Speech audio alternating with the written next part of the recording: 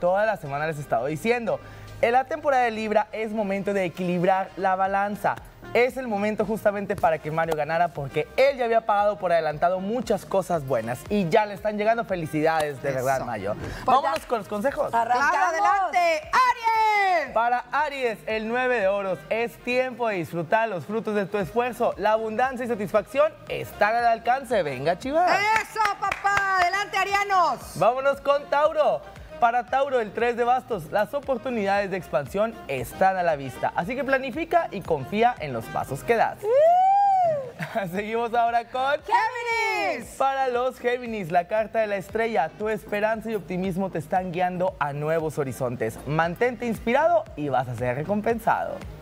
Ahora seguimos con... ¡Cáncer! Para los cáncer, el 7 de bastos, la lucha interna puede intensificarse, pero tu determinación te va a permitir superar cualquier obstáculo, así que mantente firme. ¿Qué viene para los Leo? Mira nada más para los reyes del zodiaco, la carta de la rueda. Prepárate para cambios significativos. Lo inesperado va a traerte nuevas oportunidades si fluyes con el destino. Todo se acomoda. Ahora vamos con... ¡Virgo! Para Virgo, el 5 de bastos. Los conflictos menores pueden surgir en tu entorno. Discusiones o cositas que son básicamente malentendidos. La clave está en resolverlos con paciencia. Eso, échele ganas. Ahora seguimos con los cumpleañeros. ¡Libra! Para Libra, la carta del Papa. Libra, es momento de que busques el consejo de alguien sabio y sigue los principios más sólidos. La estabilidad espiritual va a ser tu guía. Ahora seguimos con... ¡Escorpio!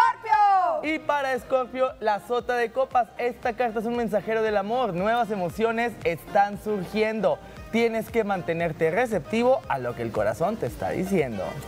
Y ahora seguimos con... ¡Sagitario! Para los arqueros, el 7 de espadas. Cuidado con la astucia mal dirigida. Hay alguien ahí medio deshonesto a tu alrededor. Así que la honestidad y estrategia te evitarán problemas.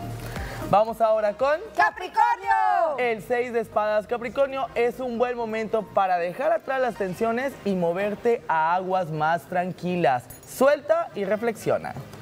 Ahora siguen los guapos de... ¡Acuario! Para Acuario, la carta del ermitaño. Acuario, se te da muy fácil, así que busca la soledad y la introspección. Encontrarás respuestas importantes sobre tu camino.